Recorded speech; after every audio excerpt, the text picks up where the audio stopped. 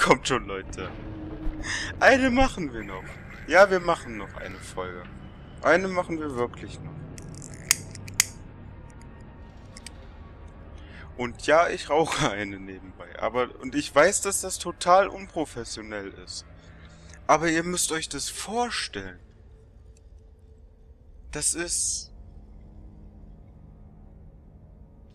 die vierte Folge, die ich heute aufnehme. Und es ist stockdunkel.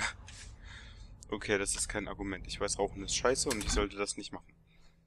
Und ich bin schon dabei, mir es abzugewöhnen. Also, das kann jeder sagen. Vertiefen wir dieses Thema nicht, sondern spielen wir Dead Space Folge 1.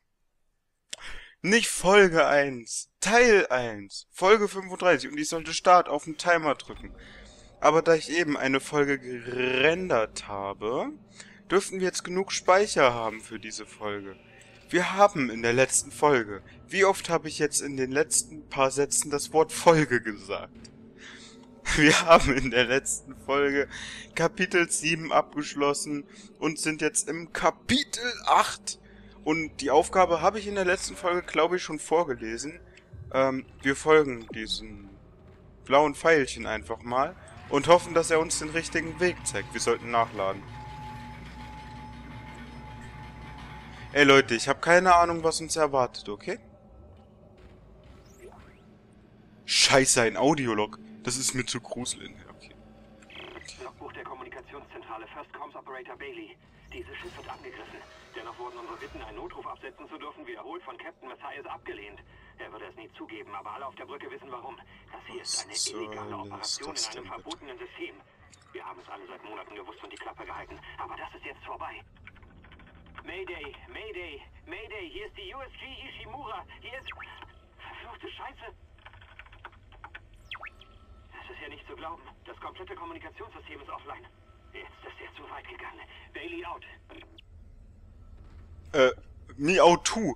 Was ist das für eine Apparatschaft hier? Das sieht aus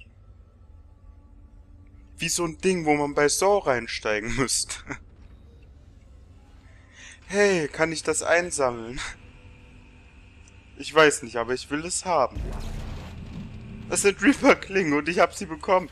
Das wäre bei Tomb Raider bestimmt ein Secret. Ich will nicht.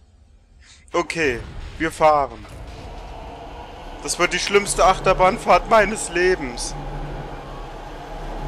Kann ich hingucken? Ich weiß es nicht. Oh nö! Bleib doch mal weg. Ich will keine Gegners.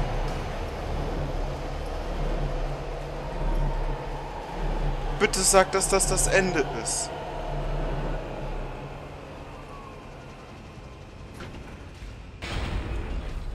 Oh. Ey Leute, ihr ahnt nicht, wie viel Schiss ich gerade hatte, dass irgendetwas Gruseliges passiert. Dafür ist es ja ein Horror-Action-Shooter und da ist ein Monster. Kommunikationsarray offline. Ein Servicetechniker wurde informiert. Das Array der Com-Anlage ist in keinem guten Zustand. Wir brauchen mindestens sechs funktionierende Parabolantennen für ein starkes Signal. Sie müssen symmetrisch ausgerichtet sein, Ja. damit es keine Energieversorgungslücken gibt. Danke, darf ich jetzt speichern? Dankeschön. Ich liebe nichts in Dirt Space so sehr wie die Speicherkonsolen. Okay. Ja, wir laden unser Dabubu mal auf. Wir scheinen es zu brauchen. Und ich glaube auch, dass wir eine neue Aufgabe haben. Und zwar das Array zu reparieren. Ähm, wir reparieren es einfach, wenn ihr es euch durchlesen wollt. Ich habe jetzt keine Geduld mehr, das vorzulesen. Was ist mit mir los? Das sind nur ein paar Sätze und ich will sie nicht vorlesen. Ich bin der schlechteste Let's Player dieser Welt. Ein Schema. Ein Schema Luftkanister. Ein luftkanisterisches Schema.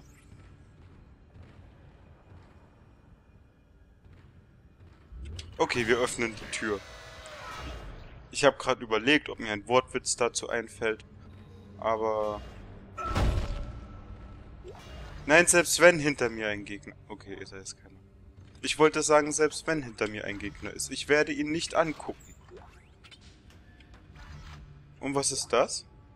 Ein Halbleiter Gold, den können wir wieder für satte 3000 Credits im Shop verkaufen. Und ja, wir öffnen die Tür. Warum haben wir die Tür geöffnet? Und nee, dahinter ist irgendwas, was schwieriger ist. Das Schlimme ist, dass wir auch noch da lang müssen. Okay. Eintritt Schwerelosigkeit. Ja. Hallo.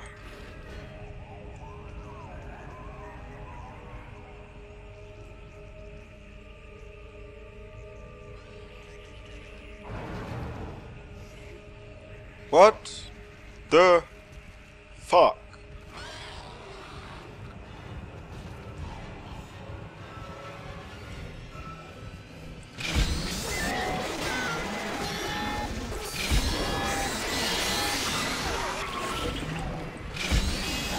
Du könntest freundlicherweise auch krepieren.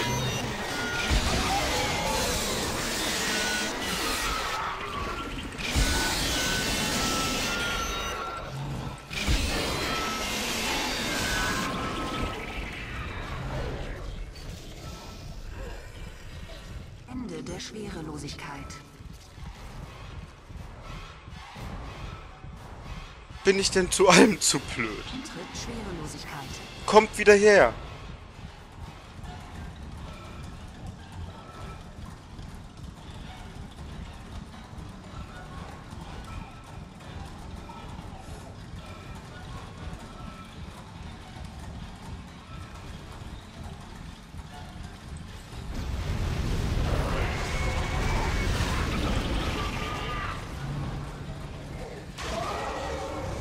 Komm her.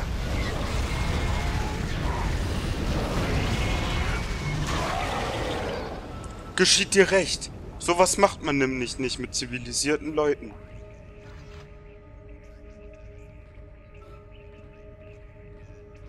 Was bin ich für ein Gamer? Ich bin zivilisiert. Das sieht nicht gerade unkompliziert aus hier. Hallo, was soll ich mit dir machen?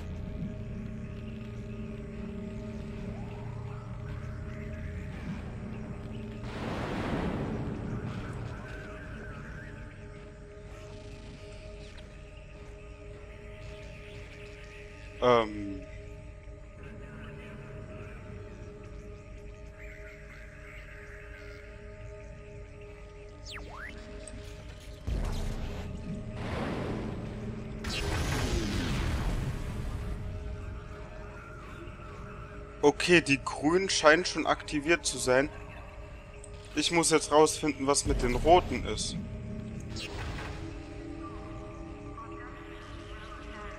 Die scheinen irgendwie kaputt zu sein.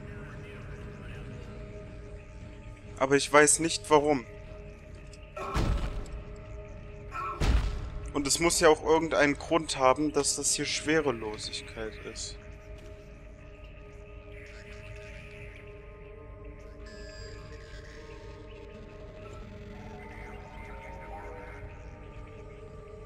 Aber warum sind diese Dinger kaputt? Muss ich vielleicht wieder einfach drauf schießen?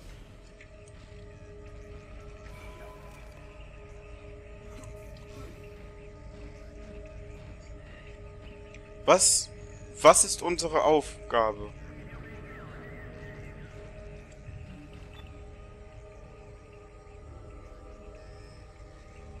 Und warte mal, ich guck noch mal. Einige Com-Anlage haben wohl etwas abgekriegt. Ich muss die defekten Schüsseln austauschen und eine Schaltung aus funktionierenden Antrennung an Antennen bauen. Wie soll man denn... Wie soll ich denn die kaputten Schüsseln austauschen?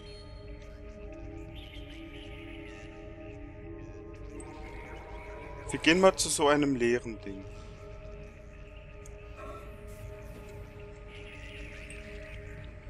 Was kann ich hier tun?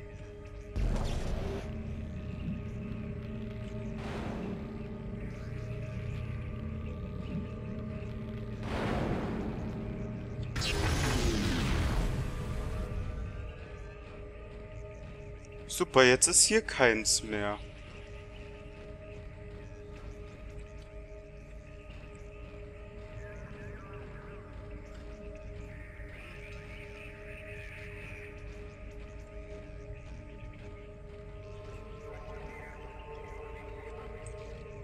Äh, Leute, ich bin gerade ein bisschen sprachlos. Das merkt ihr vielleicht daran, dass ich etwas weniger rede.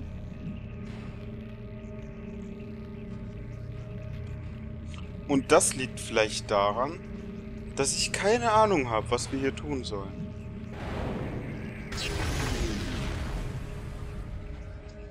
Jetzt haben wir eine Reihe komplett grün.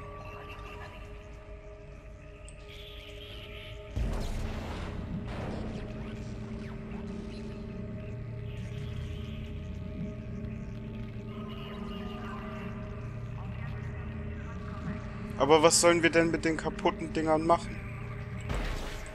Ah, warte mal.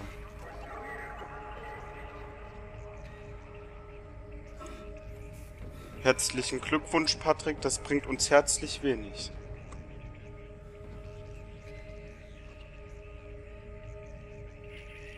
Es gibt doch gar nicht so viele Schüsseln.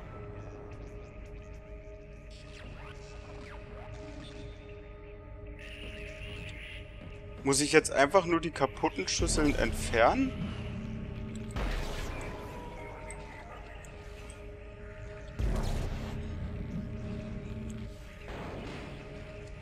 Es ist das Einzige, was, was mir einfällt, was ich probier, versuchen könnte. Einfach alle kaputten Schüsseln zu nehmen und durch die Gegend zu schleudern.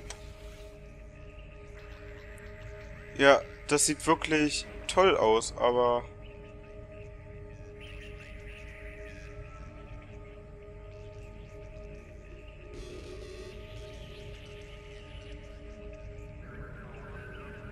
Was soll ich hier machen? Leute, jetzt mal ganz ehrlich. Was ist meine Aufgabe? Ich kann die kaputten Schüsseln gerne rausfeuern. Und sie irgendwo hinbrettern. Aber was bringt uns das? Ich sollte vielleicht nicht fragen, sondern einfach probieren, ob das funktioniert.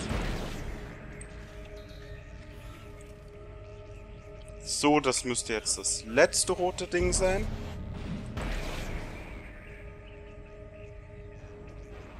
Wo ist denn dieser hübsche Monitor?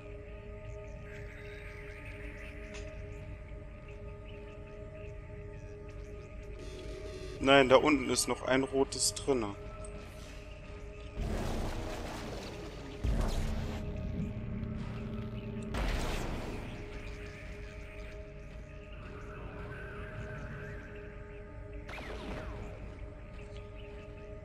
Eins, zwei, drei, vier, fünf, sechs. Eins, zwei, drei, vier, fünf, sechs. Vielleicht müssen wir alle einfach nur in die erste Reihe ähm, einsetzen.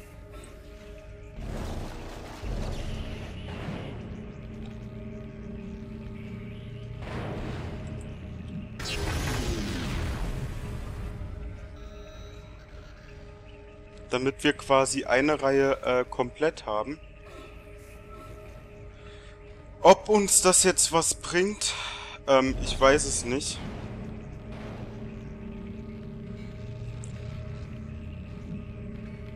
Was heißt, ich weiß es nicht? Eigentlich habe ich schon im Gefühl, dass es uns nichts bringen wird.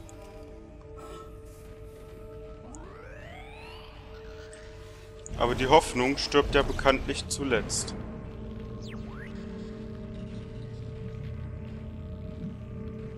So.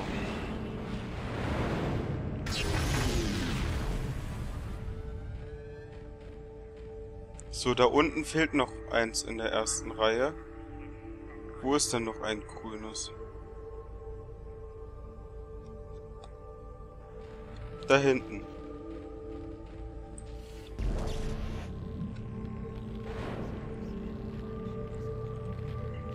Und wo hat das jetzt noch gefehlt? Da drüben. Ja, war ein bisschen am Ziel vorbeigeschleudert.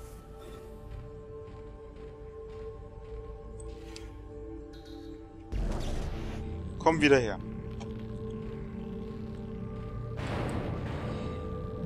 Kommunikationsarray wieder online. Empfang von Nachrichten möglich. Das war's. Es funktioniert. Das hat funktioniert?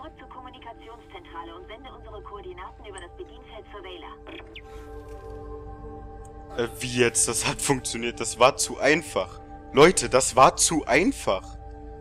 Was ist unsere Aufgabe? Ach, jetzt müssen wir das komische andere Schiff da kontaktieren. Äh, sorry, dass ich jetzt die ganze Aktion lang so ruhig war, aber ich wusste gerade nicht wirklich weiter und habe wirklich nicht daran geglaubt, dass dieser Plan auch nur im Ansatz funktionieren könnte. Aber dies tat er letztendlich und äh, wir sind speicherfreudig und werden dies auch machen. Ja, bitte, wir speichern das Spiel und machen das. Hier spricht die USM Whaler. USG Ishimura, wir haben Ihren Notruf empfangen und senden jetzt auf allen Frequenzen. Wir haben Ihre Rettungskapsel 47 an Bord genommen und sind jetzt auf dem Weg zu Ihnen. Diese Nachricht wird bis zu Ihrer Antwort alle 30 Sekunden wiederholt. Müssen wir uns jetzt alle 30 Sekunden das Zeug anhören? Ist das nicht die Rettungskapsel, die Hammond abgefeuert hat? Eins dieser Viecher war an Bord. Nein. Nein, das darf nicht sein. USM Wähler. Wähler, kommen! Unser Signal ist nicht stark genug. Ich werde jetzt die Drucktüren öffnen, um das Signal zu verstärken. Fehler. Drucktüren sind blockiert. Bitte wenden Sie sich an einen Techniker. Scheiße! Isaac, da ist was Großes an der Hülle des Schiffes, direkt über dem Com-Array. Was Organisches. Keine Ahnung, was es ist und ich will es auch nicht wissen. Wir müssen irgendwie die Türen öffnen, um zur Wähler zu senden. Von der AAS-Kanone 48 solltest du ungehindert schießen können. Geh zu der Kanone und beförder das Ding ins All.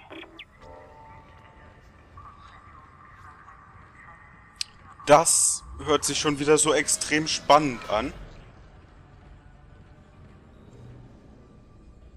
Ja, das hört sich wieder extrem spannend an und äh, ich kann es kaum erwarten, das zu machen. Und deswegen werden wir das auch machen. Aber schon wieder etwas... Ich bin falsch.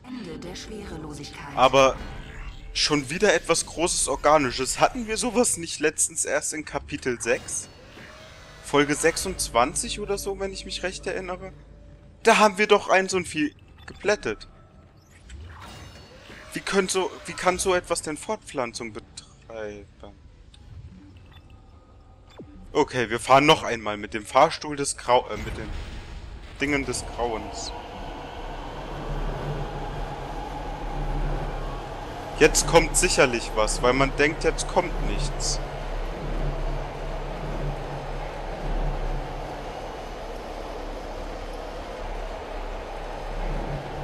Sag ich doch.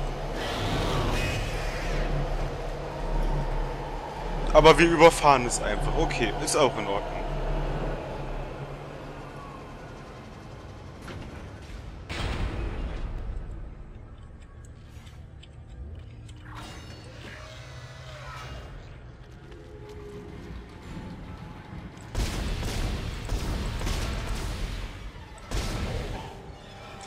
Seit wann können diese Viecher Fahrstühle benutzen? Es ist und bleibt ein Rätsel. Das bleibt es wirklich, liebe Leute. Ähm, wir haben zwei Energieknoten. Herzlichen Glückwunsch. Äh, können wir den irgendwie nutz, nutz, nützlich erweitern? Nein. Unseren Rig. Wir könnten auf maximales Leben hinsparen. Wir könnten aber auch eigentlich mal unseren Reaper... Genau, wir erhöhen einmal den Schaden unseres Rippers und gehen hier auf die letzten, also auf das letzte bisschen zu, was zu unendlichem Leben führt. So, meine lieben Freunde. ich würde sagen, das war eine sehr, sehr spannende Folge, wie ich finde. Und wir sehen uns beim nächsten Mal, wenn es heißt Let's Play Dead Space 1. Dann in Folge 36. Wenn es dir gefallen hat, positiv bewerten, Kommentar schreiben. Wenn du neu bist, kannst du mich auch gerne abonnieren. Und wir sehen uns in der nächsten Folge wieder bei Let's Play Dead Space 1. Bis dahin, lieber Freund. Tschüss.